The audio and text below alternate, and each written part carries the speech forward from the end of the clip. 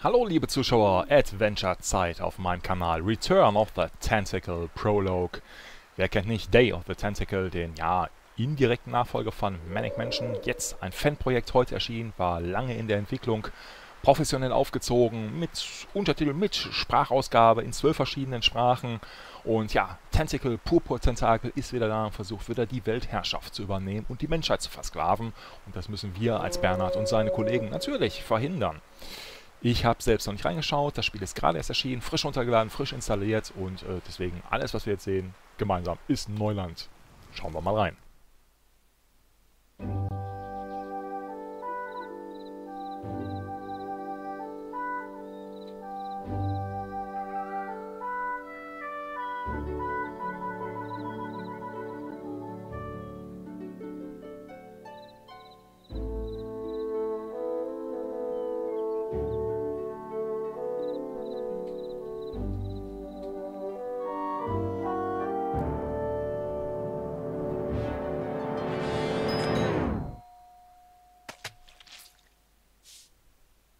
Wer klingelt denn so spät? Ach so, die Post. Vielleicht ist ja endlich eine Antwort auf meine Kontaktanzeige dabei. Bestimmt Bernhard. Für Hoagie. Eine Rechnung. Werbung für Billigjuwelen. Ein Brief von Purpotentakel. Was? Als ich Dr. Freds böses mutiertes Tentakel das letzte Mal gesehen habe, musste ich mit Hoagie und Laverne ein verschwitztes T-Shirt teilen und in meiner Toilette rumwühlen. Haha, ihr dummen Menschen. Ich bin zurück, um die Welt zu erobern. Oh nein, Ihr werdet es bitter bereuen, meine Pläne durchkreuzt zu haben. Ich bin jetzt noch böser als je zuvor und werde dich, Laverne und Hoagie töten. Und zwar in dieser Reihenfolge. Hochverachtungsvoll, Purpur. wie furchtbar. Purpur ist wieder zurück, will die Welt erobern und sich an uns rächen?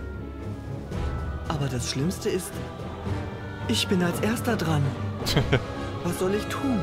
Ich brauche Hilfe. Dr. Fred. Auch wenn ich dachte, ich wäre die verrückten Edisons los. Aber es sieht wohl so aus, als müsste ich zurück zum Tollhaus. Schon wieder.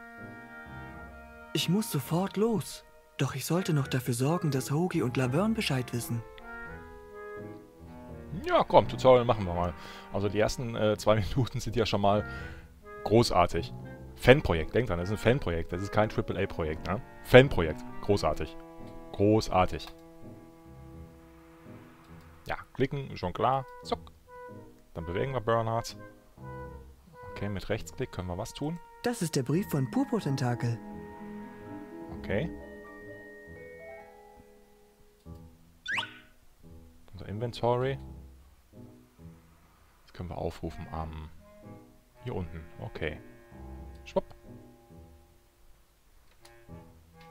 Ah, okay. Wo soll ich es hin tun? Warum? Da würde ihn niemand bemerken. Hm,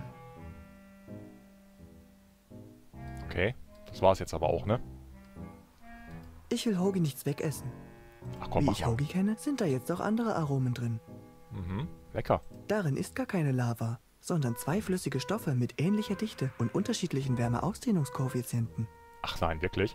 Sie muss am Strom angeschlossen sein, sonst leuchtet sie nicht mehr. Bevor ich den wieder benutzen kann, muss ich den Heimeln richtig konfigurieren. Bevor ich den wieder benutzen kann, muss ich den Heimeln richtig konfigurieren. Das muss auch anders gehen. Eine Erinnerung an den Moment, als Laverne, Hoagie und ich uns aus einem großen Pullover befreit haben. Also rechtes, rechte Maustaste ist gucken und links dann nehmen. Mhm. Ein weiteres sinnloses Foto im Weltall. Kannst du das mitnehmen? Das macht überhaupt keinen Sinn. Ja, weiß ich nicht. Ist ein äh, Adventure. Das weiß man vorher nicht. Das ist die Band, wo Hoagie als Roadie arbeitet. Besser nicht. Igitt, Ja komm, nimm mal mit die Unterhose. das ist nicht meine, also fasse ich sie nicht an. Ach, stell dich nicht so an. Die Tür zu Lavernes Zimmer. Geh mal da rein. Ich soll nicht in Laverns Zimmer, wenn sie nicht da ist. Das hatten wir erst neulich. Mhm. Das kann schon mit dich umspringen. Die liegt schon drei Tage da. Ja, ist das denn deine? Kochwäsche ist erst nächste Woche dran. Ja, dann lass liegen. Genau, muss man nicht wegräumen. Was soll das auch? Dort hängen wir wichtige Notizen auf, die wir alle wissen müssen. Was soll ich anpinnen? Ähm, vielleicht den Brief? So, hier dürfte der Brief nicht zu übersehen sein. Jetzt kann ich los. Auf der anderen Seite sollst du vielleicht den Brief mitnehmen. Für Dr. Fred. Ich hätte lieber einen gelben Regenschirm. Ja, genau, das ist auch wichtig. Es regnet nicht mehr. Okay, Da geht's raus. dann los.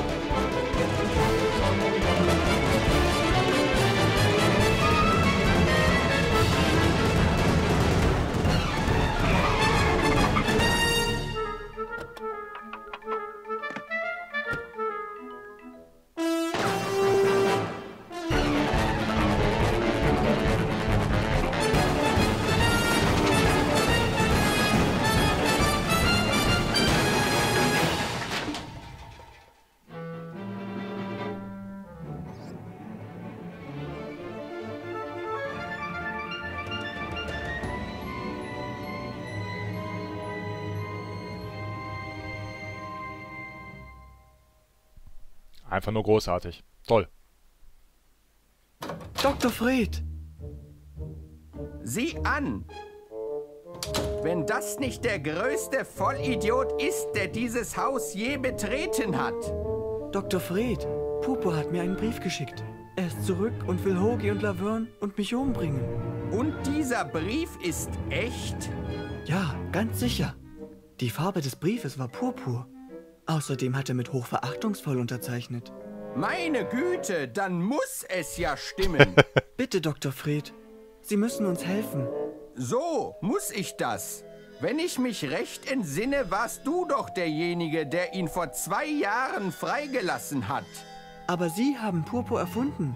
Und hätte Ihre Matschmaschine kein Mutagen in den Fluss gepumpt, dann... Außerdem will er wieder die Welt übernehmen. Na, wenn das so ist, ich habe auch schon einen Plan. Wirklich? Das ist ja großartig.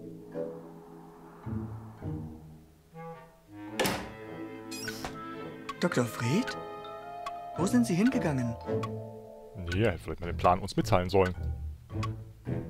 Chuck, hey. Der wird von Mal zu Mal größer. Hi, Chuck. Umarmen können wir uns später. Auf der Klingel steht drücken. Ja, mal sehen, ob jemand kommt.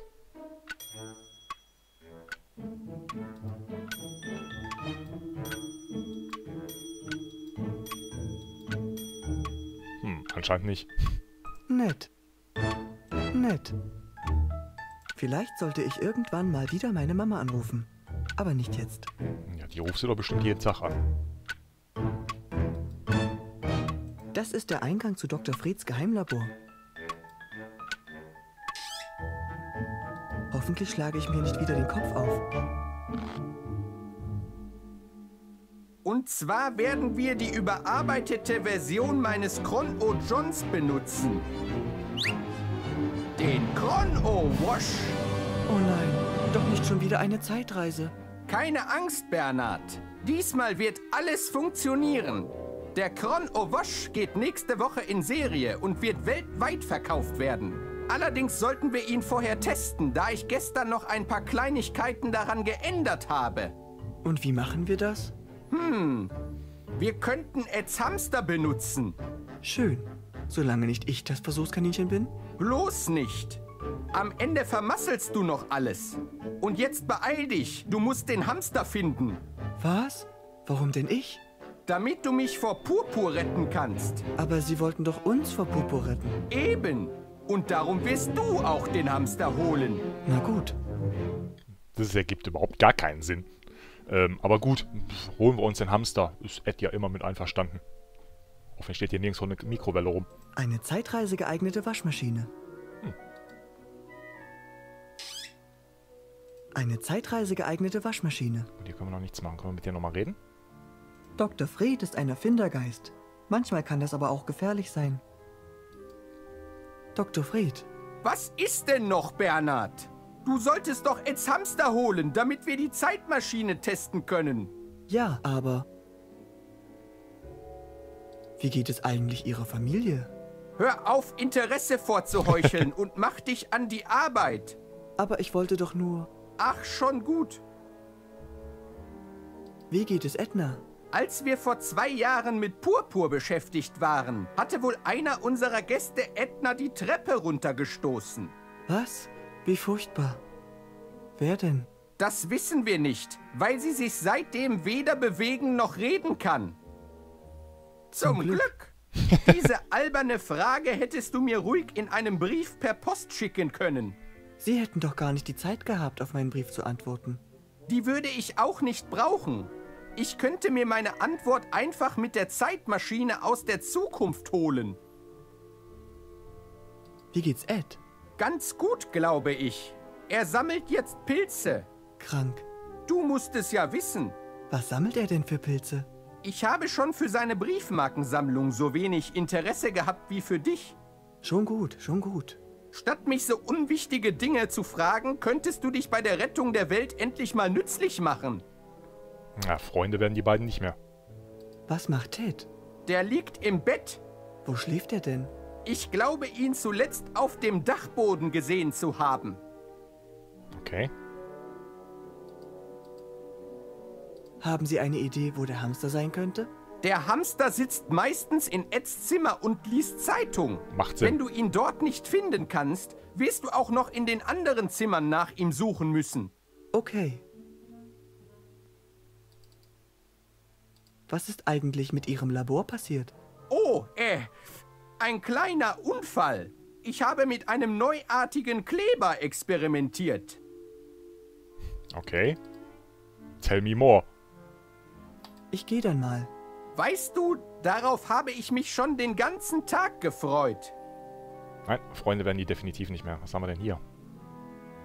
Diese Zeitmaschine wird von einem ziemlich teuren Diamanten betrieben. Kann ich den haben? Das muss auch anders gehen. Nett. Das muss auch anders gehen. Dann halt nicht. Und sonst noch was? Nett. Das macht überhaupt keinen Sinn. Na, das ist natürlich der Kleber, von dem er gerade gesprochen hat. Wenn die Matschmaschine an ist, wird Mutagen in den Fluss gepumpt. Das Schild steckt in der Matschmaschine fest. Das Schild steckt in der Matschmaschine fest. Dann zieh's doch raus. Der Hebel für die Matschmaschine. Den fasse ich besser nicht an. Na gut. Ein Wasserhahn. Ach, Ich sollte zuerst etwas anschließen, bevor ich den Hahn aufdrehe. okay. Nett. Zu langweilig. Eine geniale Erfindung von Dr. Fred, die durch die Kraft eines Hamsters Unmengen an Strom erzeugen kann. Sie zählt sogar zu den regenerativen Energiequellen. Ja, was für eine Erfindung. Unglaublich. Kannst du da irgendwas nehmen? Die Edisons haben schon genug Strom im Haus. Na gut, dann lass uns mal hochgehen.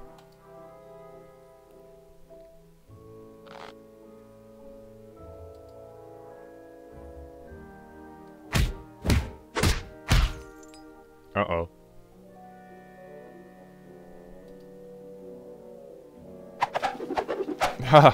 Und, und, und? Was sagst du nun?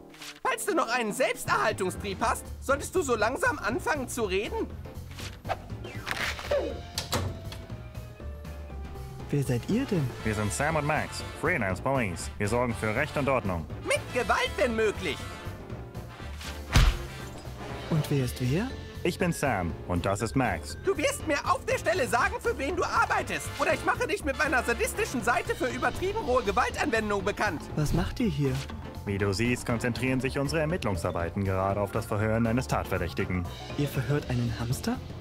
Allerdings. Und er scheint bestens darauf vorbereitet zu sein. Hey Sam, er hat sich für die harte Tour entschieden. Ist er nicht klasse? Was auch immer du mit ihm anstellst, Max.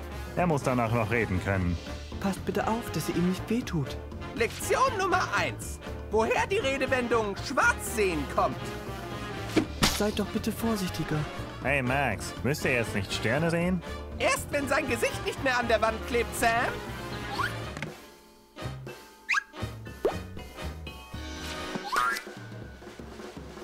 Wie wäre es, wenn ich dich etwas bräune? Dieser Hase gehört weggesperrt. In einer Pfanne oder einem Toaster? Hallo. Warum denn gerade ein Hamster? Eigentlich darf ich dir das nicht erzählen, aber wir ermitteln in einem Fall, dessen Indizien auf eine im Untergrund agierende Verbrecherorganisation hindeuten, die ihre geheime Kommunikation über diesen Hamster hier abwickelt. Nee, ihr ist klar. glaubt, die Mafia kommuniziert über einen Hamster? Lektion Nummer 2. Das Reflexionsgesetz. Aufprallwinkel gleich Wegfliegwinkel.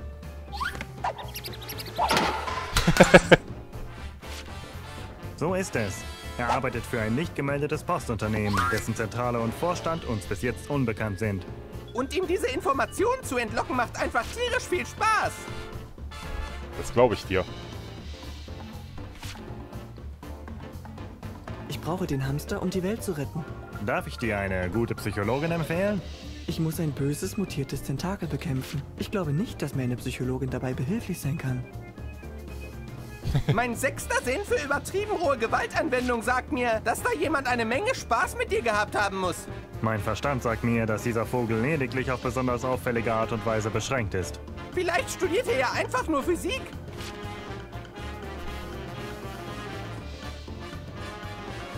Von zwei solchen möchtegern Polizisten wie euch muss ich mir sowas nun wirklich nicht bieten lassen. Sam, ich kriege Hunger. Hast du was gegen Physiker-Sushi? Max, wenn du einen Menschen zu Speisehäppchen verarbeiten willst, sollten wir uns ernsthafte Gedanken über dein kulinarisches Feingefühl machen. Sam, bitte benutze nie wieder das Wort Feingefühl. Mann, lass den Hamster in Ruhe. Ich brauch den. Wie lange verhört ihr den Hamster jetzt? Besonders lange kann es noch nicht sein. Hm, ich glaube, so vier Stunden. Was? Wie schnell doch die Zeit vergeht. Das muss wahre Liebe sein, was, Max? Oh ja!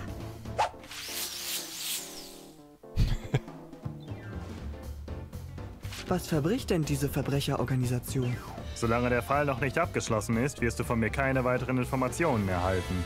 Und von mir auch nicht.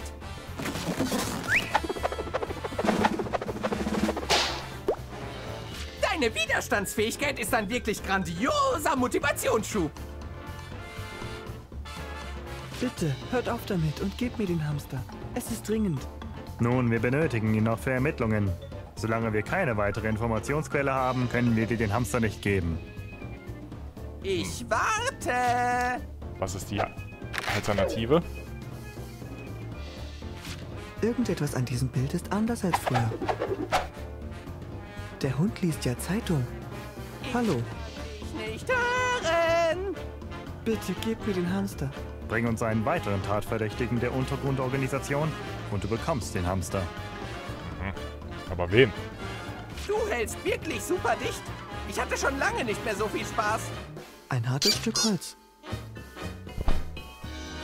Und ich werde... Den nehme ich besser mit. Wer weiß, was sie dem armen Hamster damit sonst noch antun. Macht dieses Haus eigentlich alle verrückt? Jupp.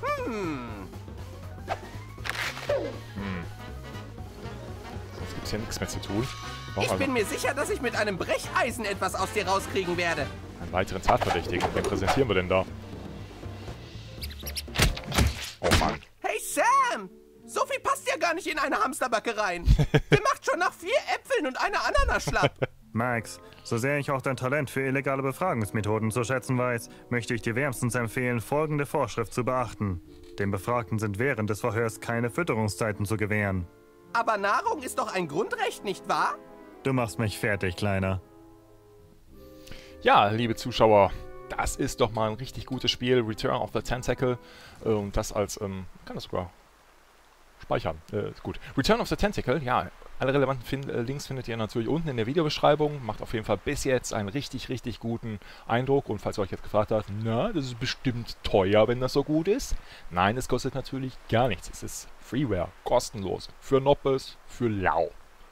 Schaut es euch einfach selbst an, probiert es mal aus. Return of the Tentacle. Ich bedanke mich fürs Zusehen und dann sehen wir uns beim nächsten Mal wieder. Bis dahin. Bye bye.